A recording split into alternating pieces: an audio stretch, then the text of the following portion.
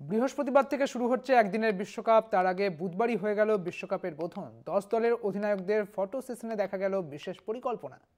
বৃহস্পতিবার থেকে শুরু হচ্ছে একদিনের বিশ্বকাপ। তার আগে বুধবারই বোধন হয়ে গেল বিশ্বকাপের। আহমেদাবাদে হলো ক্যাপ্টেন্স মিট দশ দলের অধিনায়কদের একসঙ্গে ফটো সেশনে দেখা গেল বিশেষ পরিকল্পনা। শুরুতে জাঁকজমকভাবে অনুষ্ঠানের পরিকল্পনা থাকলেও শেষ মুহূর্তে বিশেষ কারণে বাতিল করে আইসিসি। প্রথমে গ্যালারিতে বিশ্বকাপ ট্রফিকে মাঝখানে রেখে ফটো সেশনে হাজির হলেন দশ দলের অধিনায়ক। এরপরই সাংবাদিক সম্মেলনে হাজির হলেন ভারত অধিনায়ক রোহিত শর্মা, পাকিস্তান অধিনায়ক বাবার আজম সহ বাকি দলের অধিনায়করা।